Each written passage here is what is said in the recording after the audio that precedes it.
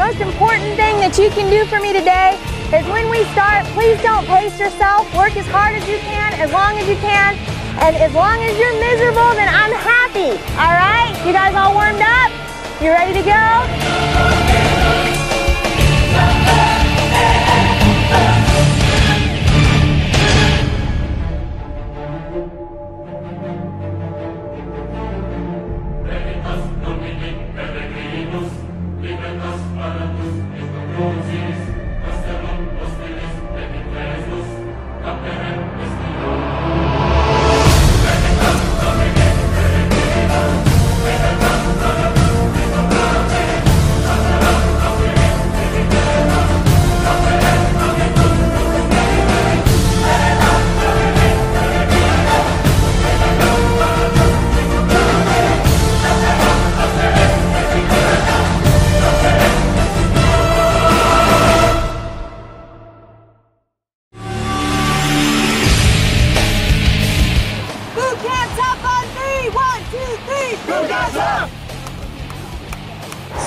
Just finished uh, a boot camp on the strip with Las Vegas Boot Camp, and I, I'm actually not too bad now.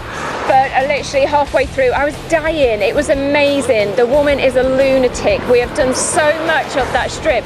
We were running up escalators going the wrong way. I mean, you guys are going to see what sort of stuff we did. Uh, but literally, I need new. I need new lungs.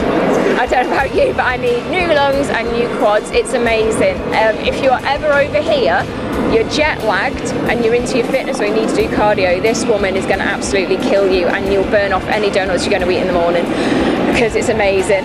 How are you feeling? I can't even talk. I'm dead, absolutely shattered. We had to go back up this. Anyway, you'll see the video. It's awesome. but we're it, you know. We did it last year. We knew what to expect. I even trained this time uh, with regards to cardio. I made sure I was doing all my MMA circuits, and nothing can prepare you for what you do on this strip. It was worse than last year. Yeah, she knew us this year, so she was a bit meaner.